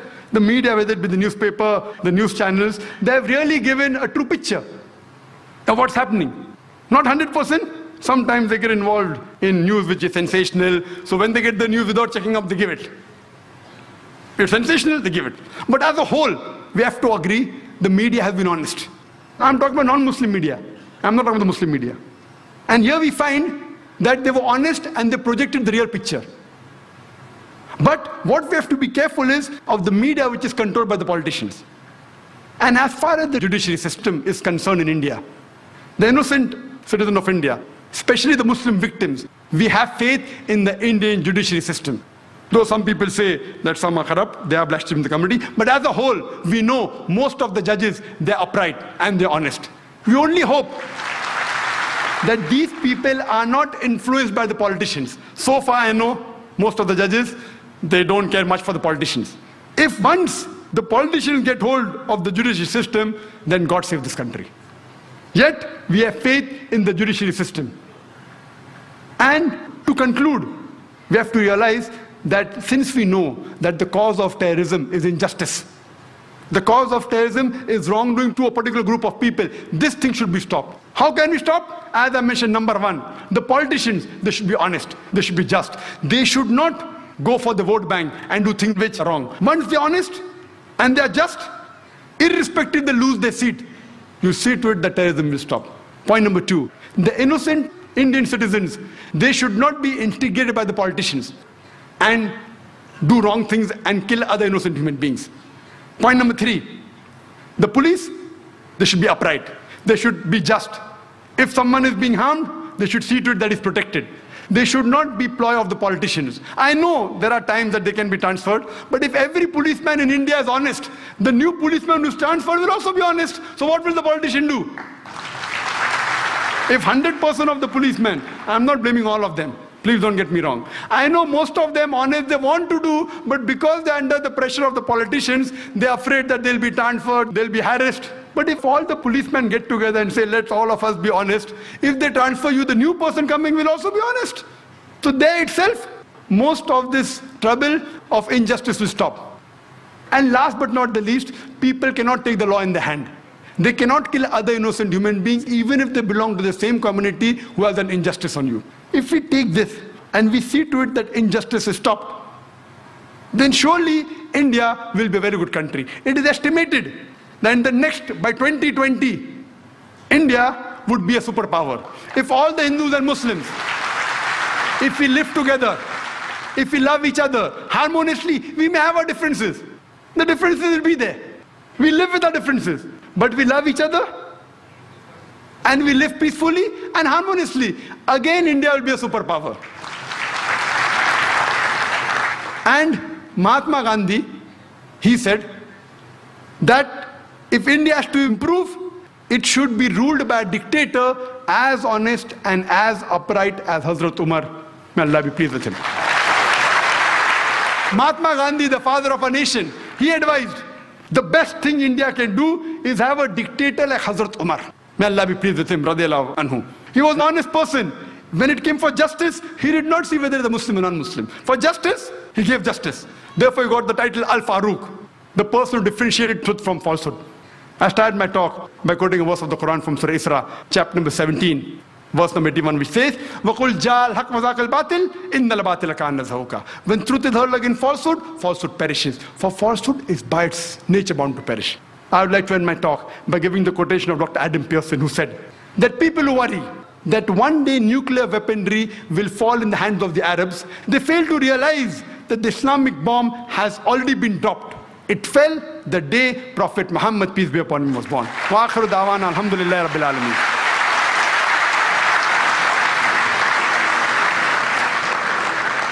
Jazakallah, thank you for your appreciation of the talk. We wonder how awesome and corrective would be the question and answer session. We start the question and answer session quickly. May I point the rules? Your question should be on the topic, it should be brief and to the point, and only one question at a time may be asked.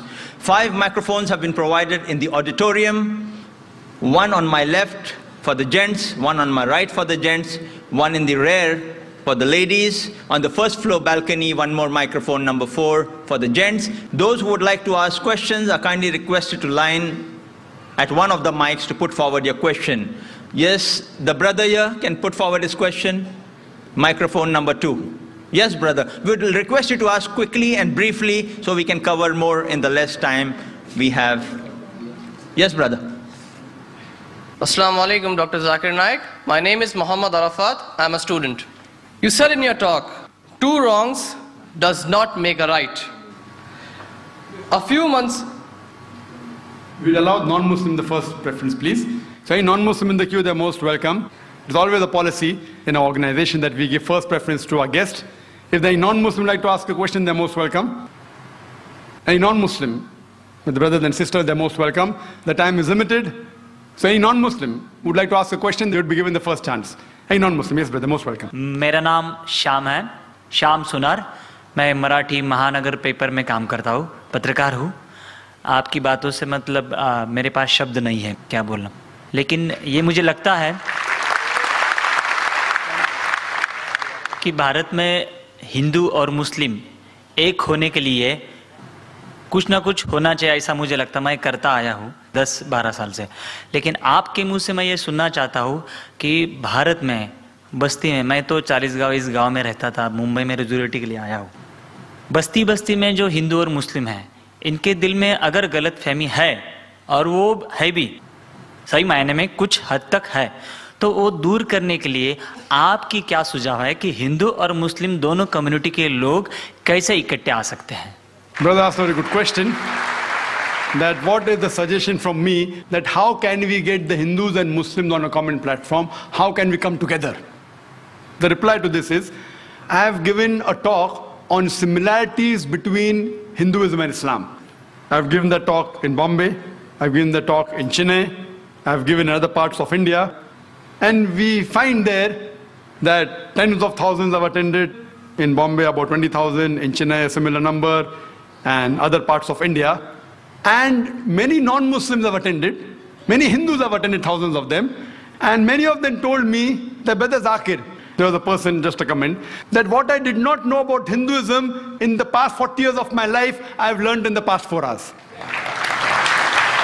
I follow the guidance of the Quran of Surah Al-Imran chapter 3 verse 64 which says, ila kalmitin sawa imbrana bainakum. Come to common terms as us and you. Which is the first term? Allah na'budu illallah. That we worship none but one God. What we realize that I don't believe in interfaith dialogue. We say that Hinduism is the same, Islam is the same, Christianity is the same.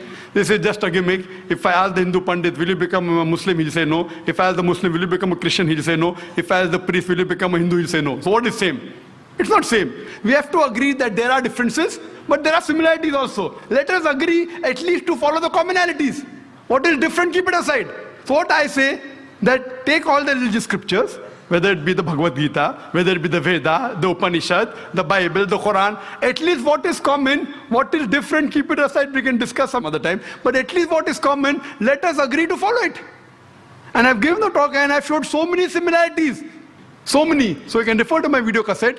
And what happens, many of them are not aware. The Muslims are not aware of their religion. Similarly, the Hindus are not aware of their religion. Many of the Muslims objected. Similarity between Islam and Hindu is impossible. So many of the people came with the talk to attack.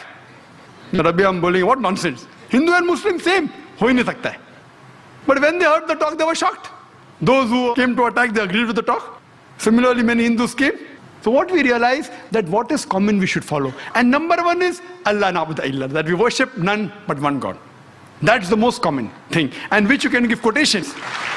And we can give quotation from the Vedas, from the Bhagavad Gita.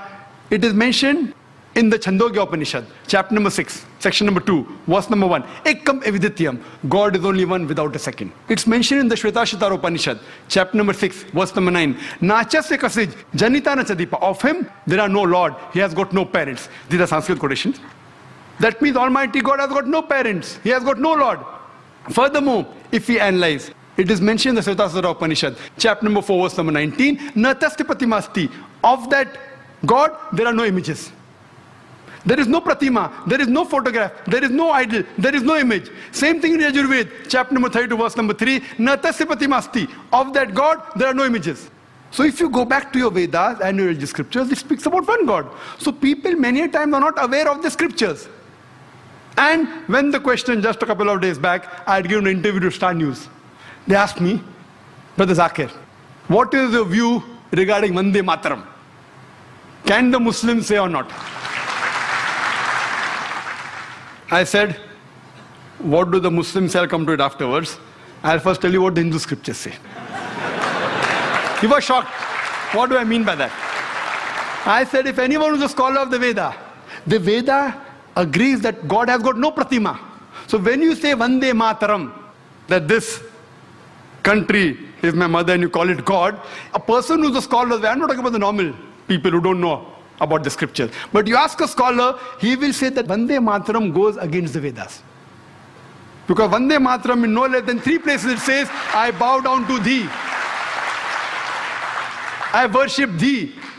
If you see about the Arya Samaj and you see the various top scholars, they think according to the Vedas, idol worship is not permitted. There are verses in Bhagavad Gita, chapter number 7, verse number 20, which says that you should not do idol worship. So here when we go back to our scriptures, unfortunately, they believe in a form of pantheism. So even according to the Vedas, if you're a good scholar, this song, Vande Mataram, that I bow down and I worship thee, as I quoted in Sanskrit about Upanishad, it's against. Even in Islam, there are 12 lines which are objectionable. Three times it is said Vande Mataram, which means I bow down to thee. If once it says that this country is my mother. Once it says, I will kiss the feet. Once it says about the divine things, about the smile, talking about divinity, it calls it Lakshmi, it is called Durga. All these things objectionable. We Muslims, we love this country. But we will not bow down to anyone but to Almighty God. Even a mother, even a mother who has born in a womb for nine months, we love her, we respect her, but we will not bow down to a mother, to our own mother. The number one human being who we love and respect in the world after Allah subhanahu wa ta'ala, it is Muhammad sallallahu alaihi wasallam. We will even not bow down to a prophet, Prophet Muhammad, peace be upon him. Is it required that we should sing this song, Vande Mataram? It is a political gimmick. Politicians, they thought they get the vote bank. They even made a gimmick on the date. You know, when it was written by Bankim Chand Chattopadhyay in 1876, it was published in 1882. Now, where is century come now? And where's 7 September? They made a mistake, the politician, political gimmick. Furthermore, even a Muslim living in Saudi Arabia, he cannot bow down to his country, Saudi Arabia. Even a Muslim living in Pakistan cannot bow down to Pakistan. It is shirk. So to say that the Indian Muslims are not patriotic, it is our religion. Our creator, our God who has made this country is far superior. So we love this country. When required for the truth, we are willing to die for this country. But we will not bow down to anyone but Almighty God. We would prefer questions from non-Muslims first because we have a limited time. I think it would be fair to the occasion. And people who would like to ask questions on slip can kindly write on the slips and pass it on down the aisle. Yeah. Any other question with any sister there? A non-Muslim sister? Yes. Assalamu alaikum and good evening to everyone present here. My name is Preeti Sethi. I would like to ask you, sir, as in your talk you have said that Osama bin Laden, we can't consider him as a terrorist as it is said in BBC and CNN channels. But at the same time, we get the same information about the bomb blast and the count which we get about the bomb blast on the same channels. So whether it has to be believed or no. Thank you, sir. The sisters asked a very good question, very relevant question. I said that when we talk about Osama bin Laden, that if you get information on BBC that is a terrorist, we don't have to believe. But when we get the count of the bomb blast, do we have to believe? That's what I said, the people controlling. That doesn't mean all the news of BBC is wrong. That news in which they make a hero into a villain, in which they'll benefit, you have to check up. So here we see that these normally bomb blast figures that you get, most of them that you find will be somewhat similar. If it's a government channel of the country in which the bomb blasts have taken place, the figure will be normally low. Why? Because the government wants to show that less people have been killed. Like the police commissioner wrote to me, 187 people killed. Newspaper writes 207. I don't know who's right. I'm not saying that Commissioner A.N. Roy is lying. I'm not saying that. Please don't get me wrong. So here we have to realize that when we get information, we have to see the proof. When we see the proof about Osama bin Laden, even on the channel, it is mentioned prime suspect sister. Prime suspect. Prime suspect. Do you know, if you go to the website of the US Department of Justice, Info Police, that gives the list of the terrorist organizations. Terrorist organizations. 43, 60% are Muslim. Can you guess which is the most popular terrorist organization? Can you guess Muslim terrorist organization? Can you guess? No, sorry. Which is the most popular Muslim terrorist organization? Al Qaeda. You don't get a prize for that, very easy. Al Qaeda. According to the US Department, you know how many attacks? How many attacks? Ulfa, 749 attacks. Al Qaeda, only 28. Out of that, 26 alleged, two Al Qaeda claims they did it. According to the site of US Department of Justice, Al Qaeda claims all alleged, not a single proved. Even on the official site of US Department of Justice, not a single attack of Al Qaeda has been proved. I'm not here to support Al Qaeda. You know, when Yvonne Ridley went to Afghanistan, she was arrested by the Taliban.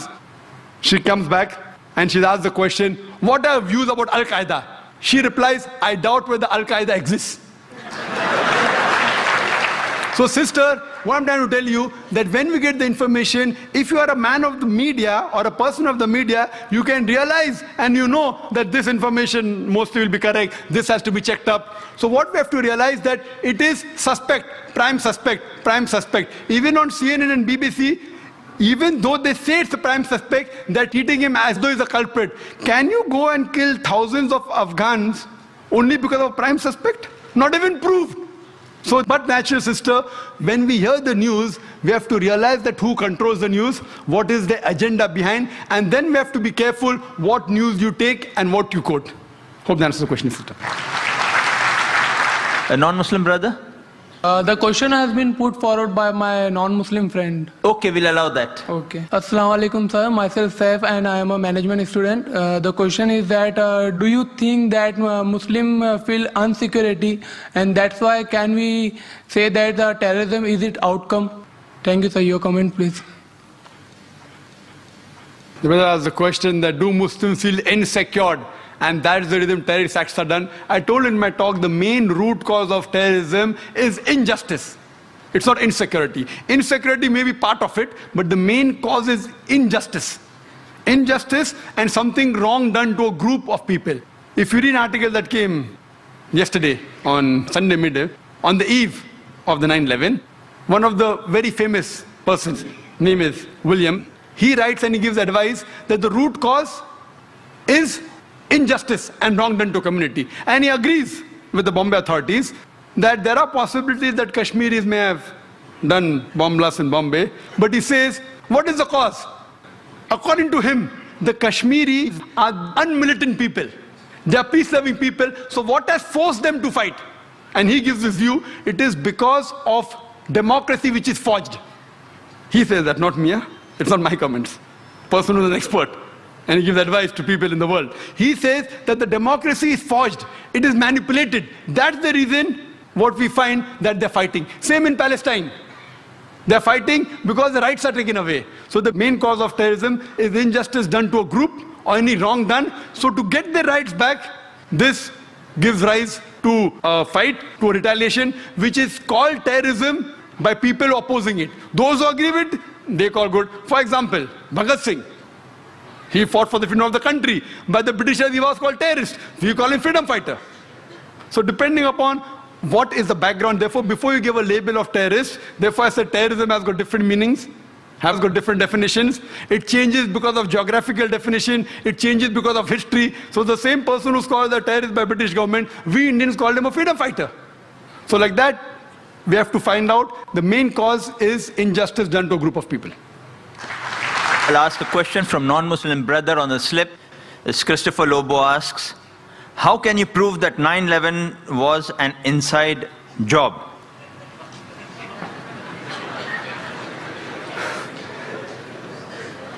Brother Lobo has asked that how can I prove 9-11 was an inside job? I've got the proofs, I can repeat the proof, it has been proven by other people. Just a few days back, there was an article that came in the newspaper that 75 professors of US, they say, they believe that 9-11 was an inside job. And in the article, it was mentioned, it came in Times of India, I think on the 7th of September, it says that 75 professors and scientists belonging to different universities from different parts of US, they believe that 9-11 was inside job. And they say that there were some politicians in White House who have engineered the destruction of the Twin Towers. And they say the main reason was so that they could attack and they could have control of the oil-rich countries. Open secret, I told you. One of the professors by the name of Steve Jones, he says that we do not believe that 19 hijackers and a few men in the cave in Afghanistan could have done such a professional job alone. They could not have done it.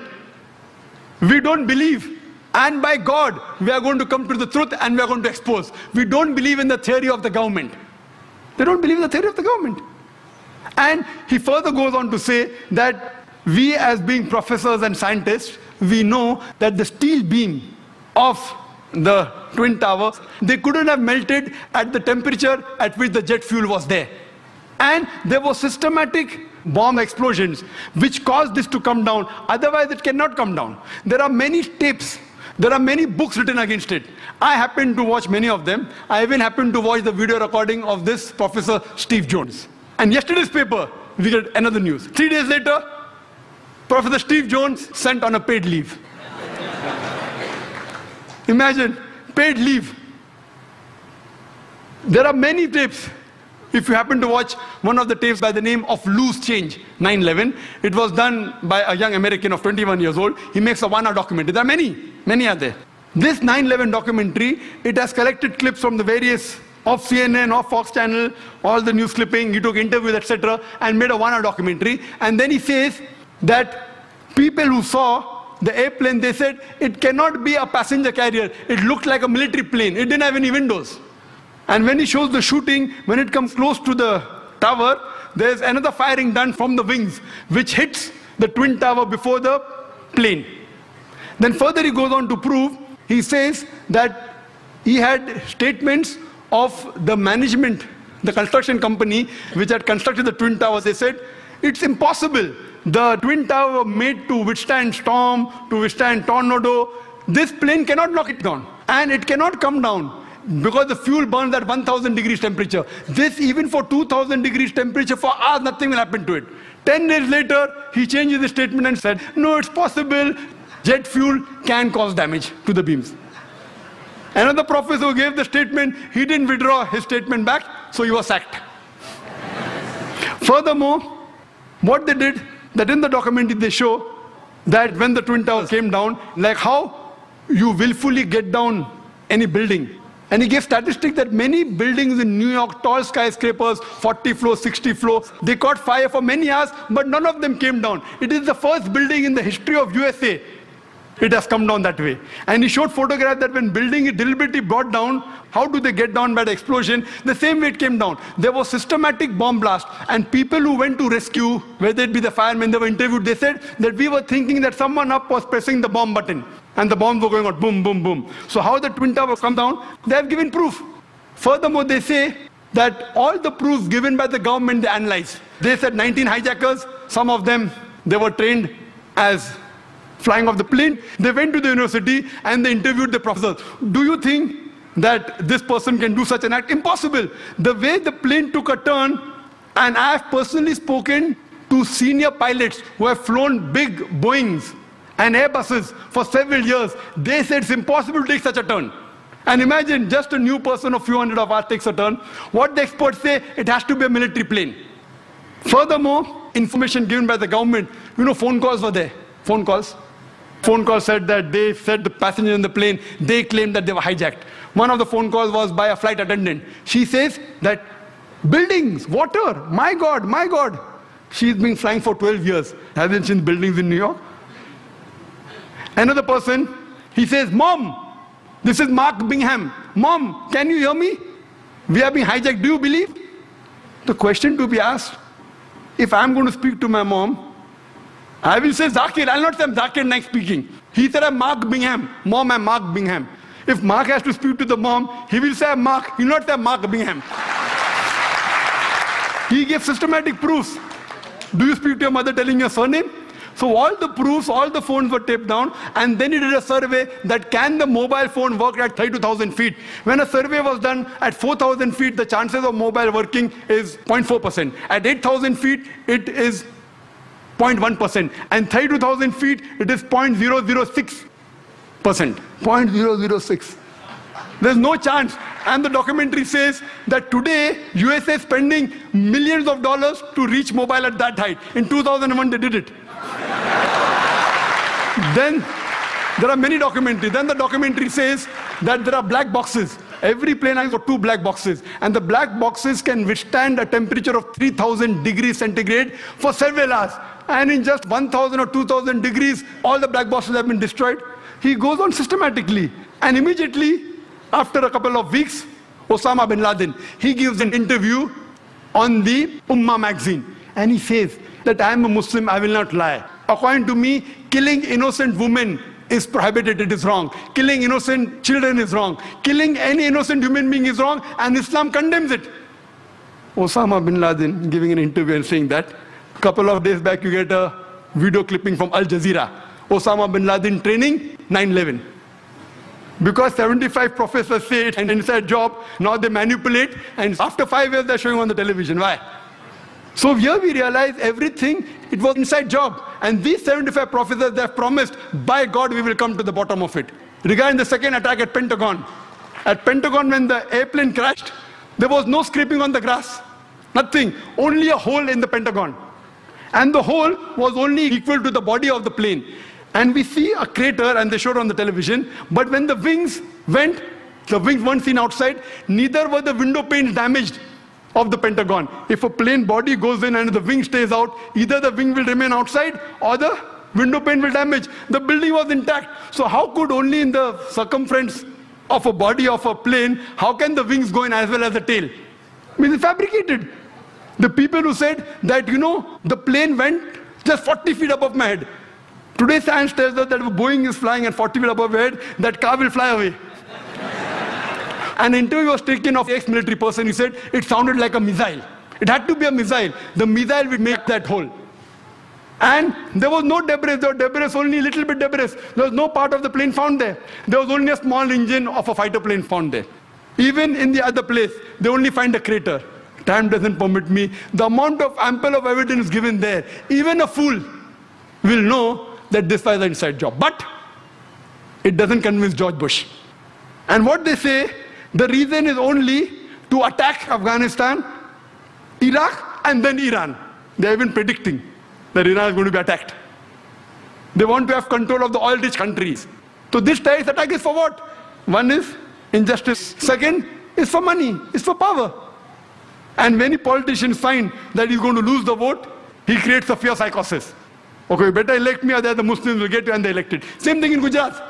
A fear psychosis was created. If you don't elect us, the Muslims will kill you and the government came back in power.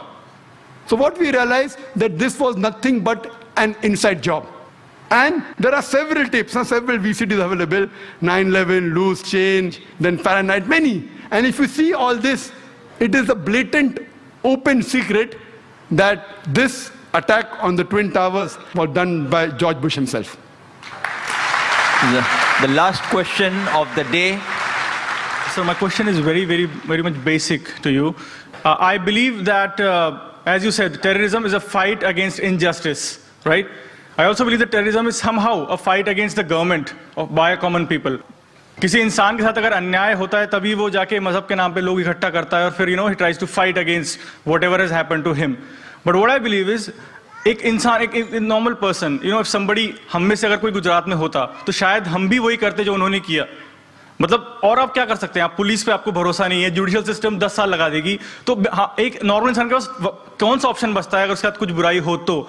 What would your advice be to a normal man like me if something like this happens to me what should we do I agree with you what you are saying is that if it with you or me when we see our family members being killed in front of us our mothers and our sisters being raped our house is being what do do and I agree that what you do the same thing A normal human being will do that. That's normal. Unless you have so much faith in Almighty God. I do agree with you. 99% human beings, unless he's wearing bangles, कलाई पे चूड़ियां पहने तो अलग बात है Otherwise, this is a normal reaction. Unless a person has faith in Almighty God. Even I would want to do the same. If I did not know my Quran, if I did not know from the Quran it is wrong. Because if I kill the innocent human being, I am behaving like the same person who's caused problem injustice to me. Just because someone does injustice to me, it does not justify me to kill other innocent human being. Just because somebody has robbed me, I can't go and rob a third person. If I catch that person responsible and book him and punish him, that's a different case. But I cannot kill any innocent human being based on the logic of the Quran that it prohibits you from killing any innocent human being. I, because I know the Quran, I will not retire it in that way. I will try and get evidence. I will try and convince the government. If he goes scot free, what I say, that all those people responsible for these terrorist acts, whether done in Gujarat, in Bombay riots, whether the politicians, whether the police, whether people who have killed, whether the people who did the bomb blast, even if they go scot free in this world, on the day of judgment, God will surely punish them. So we as Muslims believe, as it's mentioned in the Quran, in Surah Al-Imran, chapter 3, verse 185, that kullu nafsin zaikatul maut. Every soul shall have a taste of death. But the final recompense on the day of judgment. Because we believe this life is the test for the hereafter, we leave it. If we cannot do something here, we leave it for Almighty God to do the justice. And inshallah, he'll be punished in the hereafter. If we catch Hitler today, what punishment can you give him? Six million people in what punishment can you give him? You can kill him once. What about the remaining 5 million, 9 lakhs 99,910 people? Quran says in Surah Nisa chapter number 4 verse number 56 that those who reject our signs, we shall put them in the hellfires. And as often as the skins are roasted, we shall give them fresh skin so that they shall feel the pain. Today science tells us that there are pain receptors. So God tells that on the day of judgment, if the skins are roasted, we shall give them fresh skin so that they shall feel the pain. If God wants to incinerate Hitler six million times, he can do it. We can't do it here. So therefore, we leave it to the main justice, main justice to God.